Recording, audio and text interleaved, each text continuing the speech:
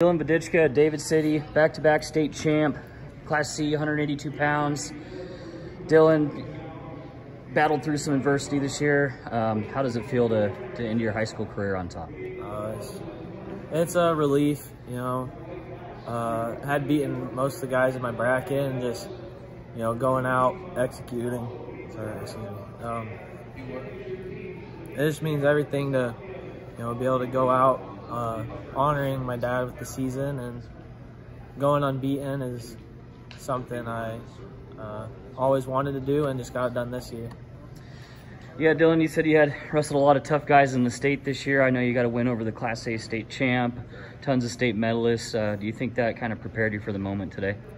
Yeah, I think, uh, you know, we always try and see the best competition and, you know, when you can beat you know, the goal is to beat everybody. You don't just look at your class, want to beat these guys. It's whoever steps on the line with you. That's who that's who you want to beat, and you want to be the best.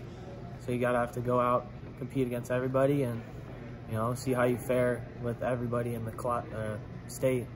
And once you get, you know, you try and get to the top of that level, and then you know you come to state, and you're just prepared to go every match on the line.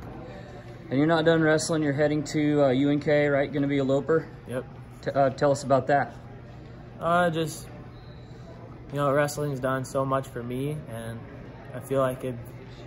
Uh, it's just I want to continue wrestling and just see how high my potential is. And I know UNK has a great program. They have great guys. You know, think they're like rated second right now. The, the new rankings are number one now. Number one. Yep. Uh, yeah. So you know, going down there, uh, compete in that practice room every day, I think I can get a whole lot better and, you know, hopefully do something at that level. Congrats again on your second state title. Thank you.